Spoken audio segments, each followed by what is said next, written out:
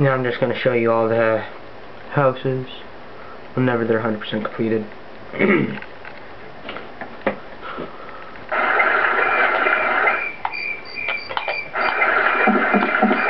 this is just the ones on